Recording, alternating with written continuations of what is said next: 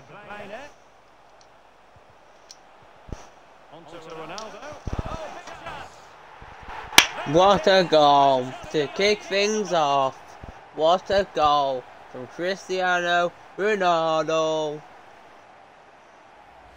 Well, just look how he holds off the